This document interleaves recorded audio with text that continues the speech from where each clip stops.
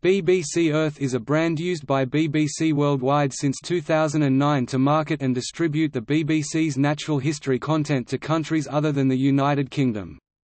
BBC Worldwide is the commercial arm of the public service broadcaster.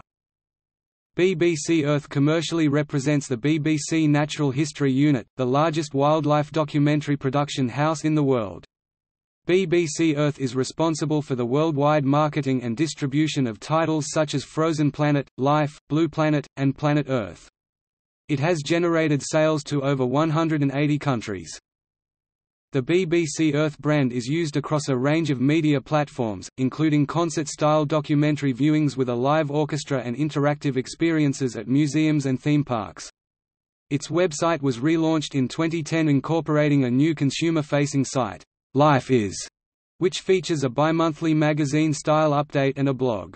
The brand is also used for new releases of BBC Natural History titles on DVD and Blu-ray.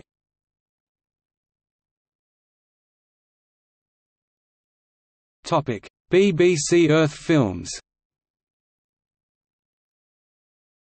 In 2010 the brand launched BBC Earth Films, the theatrical arm of BBC Earth. Three new productions were announced at the launch: One Life 2011, Walking with Dinosaurs 3D 2013, and Enchanted Kingdom 3D 2014.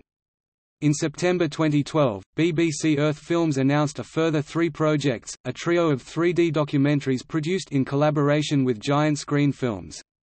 Amazing Bugs. 3D, Africa, The Wildest Place on Earth 3D and Sharks. Rulers of the Seas 3D will be developed for theaters, museums and visitor attractions.